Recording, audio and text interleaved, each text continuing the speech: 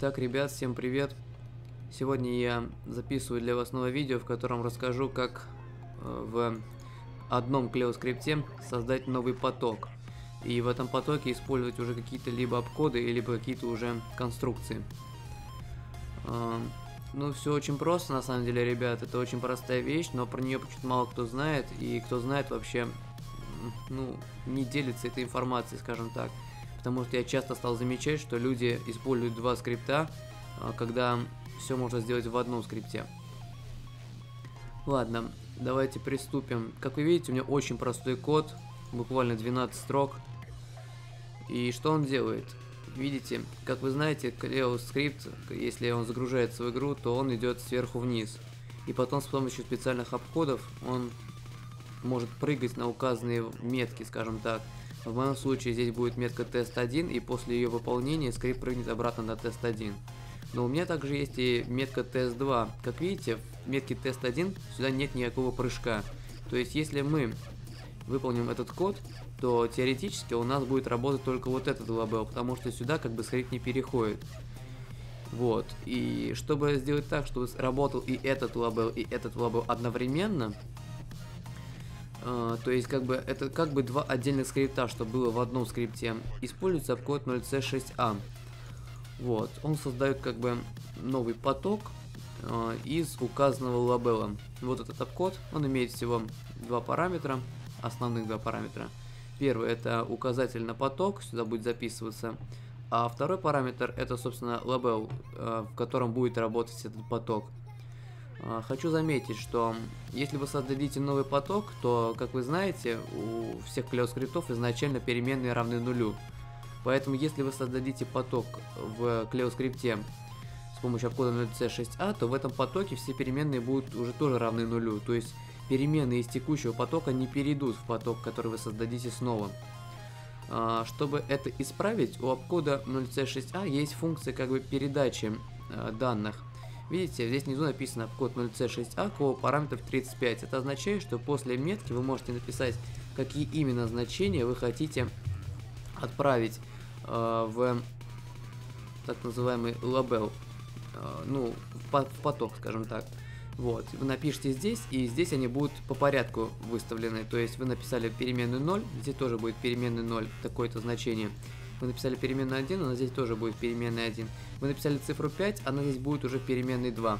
Это цифра 2. Или 5, точнее, да. Я туплю, но сори, ребят. Бывает. А, смотрите, это переменная 0, она тоже там будет 0. Здесь переменная 1, там тоже будет переменная 1. Здесь, видите, написано цифра 5. Эта цифра 5 будет в переменной 2. А вот этот 0, вот этот, да, плавающая точка или дробное число, она будет уже 0, 1, 2, 3. Переменная 3 и так далее, в общем. В конце, по-моему, максимальное количество это 32, да? Нет, 33. Потому что два параметра заняты уже вот этими. Первый, это я уже сказал, указатель на поток, а второй это, собственно, метка, через которую будет работать весь поток. В общем, так вот и все, ребят. Это очень простой код, на самом деле. И вот так можно создавать много разных скриптов в одном скрипте. Сейчас я покажу, как это выглядит все в игре. Наверное, будет проще понять, потому что я наверное, не знаете, что такое потоки вообще. Ладно, давайте зайдем в игру. Сейчас покажу. Кстати, сори, ребят, я немножко так говорю странным голосом, потому что у меня... Ну, короче, я заболел, да, ребят, и бывает, короче. Да. Вообще, я чихаю, кашляю, но я сейчас просто... Ну, мне сейчас получше немножко стало, поэтому я решил записать. Да и тем более время записывать. Так, бля, музыка. Забыл ее отрубить. Сейчас по-быстрому отрубим ее. Вообще не надо. Так, смотрите, вот мы появились в игре. Открываем консоль и видим, что здесь идут цифры 2, 1, 2, 1, 2, 1. Давайте перейдем в скрипт и еще раз посмотрим. Видите, в этом лабеле мы никуда не перепрыгивали вот сюда. Мы прыгали только в самом этом лабеле а в этом лабеле мы не прыгали сюда. То есть у нас как бы два отдельных лабела, но они работают одновременно. Видите? Цифры 2, 1. Все из-за того, что мы поставили в начале обкод 0c6a. Также хочу заметить, что обкод 0c6a является обкодом сам функции. А, но его использовать без сам функции у вас не получится, поэтому если вы поставите сюда этот обкод, то скорее всего у вас крашнется игра, если у вас не будет установлен сам функс. А, но этот обкод, видите, я поставил в самое начало скрипта без проверки на то, что сам загружен. Дело в том, что данный обход можно использовать э, без полной загрузки структур сампа. Да. В общем, так и все, ребят. Видите, у нас флудит здесь сейчас. На самом деле вы просто не видите, как быстро здесь все флудит. Вот сейчас я напишу цифру 5. Вот вы видели, как она быстро улетела. Видите, вот сейчас я быстренько пофлужу. Вот видите, как быстро летят цифры. То есть два потока работают одновременно. Если вы здесь напишете, ну вы, мы, сейчас, мы сейчас не увидим, потому что я хотел посмотреть, какие потоки у меня загружены. Ну, в общем, ребят, это как бы обкод создает отдельный поток в текущем скрипте. Вот.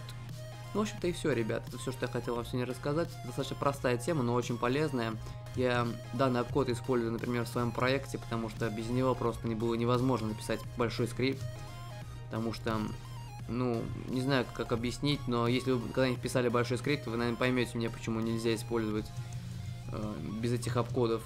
Большой скрипт не получится у вас написать просто, если вы хотите там вциклить какие-то определенные функции и так далее. Да, ребят. Ладно, ребят, все, я заканчиваю, короче. Такое маленькое видео, но постарался быстро объяснить, надеюсь, вы меня поняли.